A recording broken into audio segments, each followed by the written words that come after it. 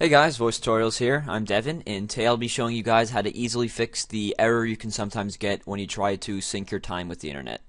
As you can see here, I am getting the error now, and if I try to update, it just gives me an error, no matter which one I try.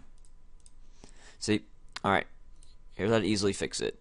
Uh, go over to your start menu, and then type in service, and select services from programs Alright, you're going to look for Windows Time. So here we go. If you've never changed before, it's going to be on manual. So I'm go to right click and then go to properties. And then you're going to switch the startup type to automatic. And then also, if you haven't changed it before, yours is going to be on stop. So click start.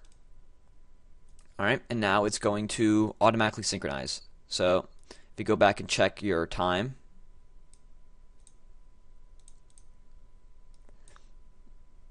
There you go.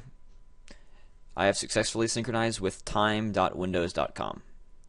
That's all you guys got to do. Hopefully this fixed your problem. If not, leave a comment and I'll hopefully be able to help from there.